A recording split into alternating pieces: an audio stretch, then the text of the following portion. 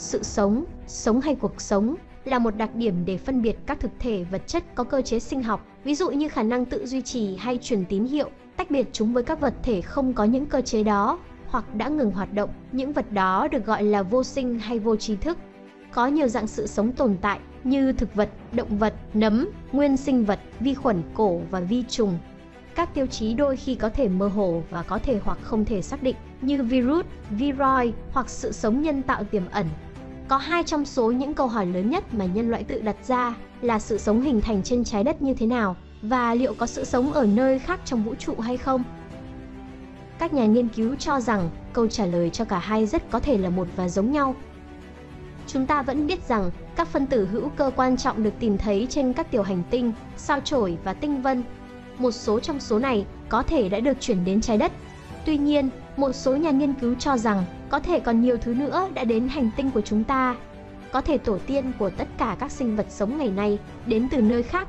Chắc chắn, không gian có vẻ không thân thiện với sự sống, nhưng một số sinh vật nhất định có thể sống sót trong những điều kiện khắc nghiệt như vậy. Khái niệm này được gọi là panspermia hay còn biết đến là giả thuyết cho rằng sự sống tồn tại trên khắp vũ trụ. Gần đây, khái niệm này đã trở thành một chủ đề tại một hội nghị được tổ chức tại UC Berkeley với các chuyên gia trong các lĩnh vực khác nhau trình bày kết quả và ý tưởng về sự di cư của sự sống trong vũ trụ. Sao hỏa ngày nay là một hành tinh lạnh và khô, nhưng có thể trong một thời gian dài, nó đã có các đại dương nước trên bề mặt. Nếu sự sống hình thành ở đó, các nhà nghiên cứu cho rằng nó có thể đã thoát ra ngoài không gian và cuối cùng tìm được đường đến trái đất. Để sự sống vào không gian, nó cần phải có sự tác động. Điều này có liên quan đến nhiệt độ và áp suất cao, có thể giết chết bất kỳ dạng sống nào trong đất.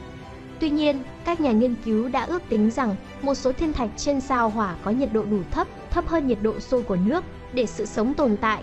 Kích thước của mảnh đá cũng đóng một vai trò trong việc này. Các tảng đá phải đủ nhỏ để không biến thành plasma, trạng thái thứ tư của vật chất, trong đó các chất bị ion hóa mạnh khi chúng lao xuống bầu khí quyển của trái đất, nhưng cũng đủ lớn để bên trong nó được che chắn khỏi tia vũ trụ. Điều đó cho thấy các thiên thạch trên sao hỏa có kích thước phù hợp đã đến hành tinh của chúng ta mà không gặp nhiều khó khăn. Theo tiến sĩ Ben Weiss, giáo sư khoa học hành tinh tại MIT cho biết, tôi nghĩ rằng có các bằng chứng rõ ràng chắc chắn không phải là một ý tưởng khó hiểu khi cho rằng trong hệ mặt trời của chúng ta, một số hành tinh không bị cô lập về mặt sinh học. Chúng tôi cũng tin chắc có lẽ hàng tỷ tấn đá trên sao hỏa đã được chuyển đến trái đất kể từ khi hai hành tinh hình thành. Chúng ta cũng biết rằng cứ sau vài trăm nghìn năm, một tảng đá có kích thước bằng nắm tay sẽ từ sao hỏa đến trái đất. Trong một thí nghiệm được thực hiện trên cơ sở tiếp xúc với thời gian dài của NASA, là một cơ sở hình trụ cỡ xe buýt trường học được thiết kế để cung cấp dữ liệu thử nghiệm dài hạn về môi trường ngoài vũ trụ. Vi khuẩn có thể tồn tại trong không gian gần 6 năm. Sau đó, có nhiều thí nghiệm đã chỉ ra rằng nhiều dạng sống có khả năng sống sót trong hành trình giữa sao hỏa và trái đất. Có thể các dạng sống trên trái đất đã trải qua không gian sâu thẳm, ngay cả trước khi con người thực hiện được kỳ tích tương tự. Các ước tính cho thấy, sau một tác động hầu hết vật chất sẽ giảm xuống. Tuy nhiên, một phần nhỏ sẽ di chuyển và va vào các hành tinh trên một phần nhỏ hơn nhiều, sẽ có thể đến được các mặt trăng của sao mộc và sao thổ. Thường thì ý tưởng về panspermia chỉ tập trung vào các hành tinh và mặt trăng, nó không bao gồm các thiên thể nhỏ hơn của hệ mặt trời. Để tạo ra sự sống, các nhà khoa học cho rằng vật liệu hữu cơ, nước, nhiệt và thời gian là cần thiết. Tất cả những thứ này đều tồn tại trên các hành tinh, những thiên thể nhỏ sớm nhất hình thành trong hệ mặt trời của chúng ta. Theo tiến sĩ Lindy Elkin Stanton, nhà nghiên cứu độc lập đối với sứ mệnh Psyche của NASA nhận định, Tôi nghĩ rất nhiều lần chúng ta nghĩ về sự sống chỉ nảy sinh khi một hành tinh được hoàn thiện ở dạng quen thuộc với chúng ta. Chỉ trong vòng 100.000 hoặc 200.000 năm về mặt địa chất, không lâu sau khi chất rắn đầu tiên trong hệ mặt trời hình thành, các hành tinh có tất cả những phần cần thiết cho sự sống. Chúng có một chút trọng lực, nước lỏng, ấm và chứa đầy chất hữu cơ. Có lẽ đó là nơi có thể sinh ra sự sống. Sự sống đó có thể sau đó đã lan rộng khắp hệ mặt trời theo các hành tinh là một ý tưởng được quan tâm. Trong những năm hình thành của hệ mặt trời, các vật thể nhỏ hơn có thể quay xung quanh cho đến khi va chạm với trái đất cổ đại, có thể mang những sinh vật sống đầu tiên đến hành tinh của chúng ta. Cũng có thể sự sống đã phát sinh trên các hành tinh một cách độc lập và chỉ ở trên chúng, không bao giờ có khả năng di chuyển. Nếu sự sống hình thành theo quan điểm này, thì rất khó có khả năng nó vẫn còn tồn tại cho đến ngày nay. Nó sẽ phải tồn tại 4,5 tỷ năm trong điều kiện khủng khiếp, không có nhiệt và không có nước. Có một giả thuyết khác cho rằng người ngoài hành tinh có thể đã gieo mầm sự sống trên trái đất. Các nhà khoa học Anh đã phát hiện cấu trúc hình cầu bí ẩn, chứa một dạng vật chất sinh học được cho là nguồn gốc sơ khai trên trái đất. Cấu trúc hình cầu bí ẩn này có kích thước chỉ bằng đường kính của một sợi tóc, có lớp vỏ bằng kim loại, được hình thành từ titan và vanadium với chất lỏng sinh học rỉ ra từ giữa. Nguồn gốc của khối kim loại vẫn còn là một ẩn số.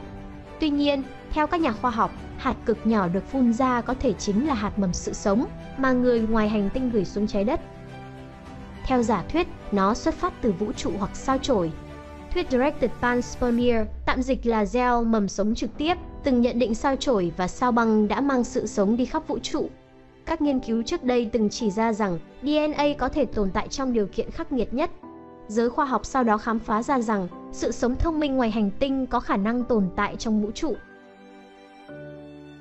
Gần đây, với việc phát hiện ra vật thể liên sao kỳ lạ Oumuamua, ý tưởng về khái niệm panspermia đã chuyển từ sao chổi và các mảnh hành tinh trong vùng lân cận của chúng ta sang thiên hà rộng lớn hơn. Oumuamua là một vật thể di chuyển giữa các hệ sao, cho thấy có sự trao đổi vật chất giữa chúng. Sự trao đổi này có thể rất nhỏ, nhưng nó không phải là không đáng kể. Nếu chúng ta giả định rằng sự sống có thể di chuyển qua các hành tinh, thì tại sao không giả sử giữa các vì sao Ý tưởng này chắc chắn là hấp dẫn, nhưng có một số thách thức khi nói đến sự chuyển động giữa các vì sao này. Hầu hết các vật thể giữa các vì sao đang di chuyển với tốc độ cao, vì vậy, sự sống trên các vật thể này sẽ phải đối mặt với tác động của tốc độ cao. Một yếu tố khác cần xem xét là thời gian. Những vật thể này có thể di chuyển trong hàng chục triệu năm.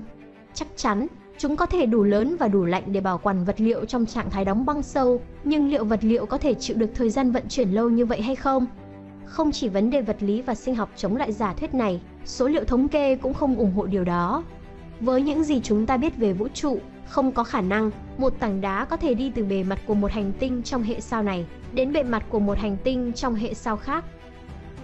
Trong khi panspermia là một ý tưởng hấp dẫn, nó vẫn còn phải được chứng minh. Bằng chứng rõ ràng nhất là việc tìm thấy sự sống ở nơi khác tương thích với sự sống trên trái đất. Tìm kiếm sự sống ngoài hành tinh là bước đầu tiên, nhưng tìm hiểu xem chúng ta có liên quan hay không thì không còn quá xa xôi. Hầu hết các hành tinh có tiềm năng sự sống ngoài trái đất đều quay quanh một sao lùn đỏ, những ngôi sao nhỏ hơn, lạnh hơn và tối hơn mặt trời. Đây là loại sao phổ biến trong giải ngân hà chiếm đến 75%. Giới khoa học thường tập trung vào các sao này vì dễ tìm thấy các hành tinh khối lượng nhỏ quanh những ngôi sao này hơn. Do các sao lùn đỏ có nhiệt độ thấp hơn mặt trời, các hành tinh cần phải ở gần hơn khoảng cách từ trái đất đến mặt trời để có thể nhận được đủ nhiệt giữ nước ở dạng lỏng. Đây cũng là thuận lợi với các nhà thiên văn, do ở gần nên thời gian quay một vòng quanh ngôi sao mẹ ngắn hơn trái đất, cho phép họ quan sát được nhiều hơn. Tuy nhiên, hành tinh càng ở gần ngôi sao thì khả năng nó bị khóa thủy triều càng lớn. Nếu bị khóa thủy triều, hành tinh sẽ luôn chỉ hướng một mặt tới ngôi sao, nghĩa là một nửa luôn là ban ngày, trong khi nửa kia luôn chìm trong đêm tối và lạnh giá.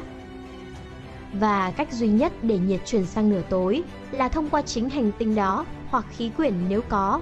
Một số người cho rằng nếu nửa nóng nửa lạnh, đâu đó ở khoảng giữa sẽ có nhiệt độ ôn đới, tức không quá nóng cũng không quá lạnh.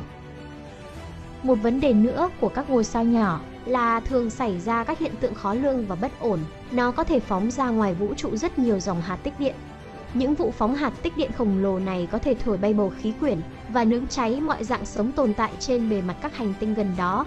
Nếu những ngôi sao thế này không phù hợp cho sự sống, có nghĩa là 75% số sao trong ngân hà cũng vậy. Hoặc cũng có thể những dạng sống ở các hành tinh trên phát triển theo cách rất khác với trái đất. Điều này cũng đồng nghĩa rằng việc chúng ta cứ đi tìm các dạng sống tương tự như trái đất có thể là một sai lầm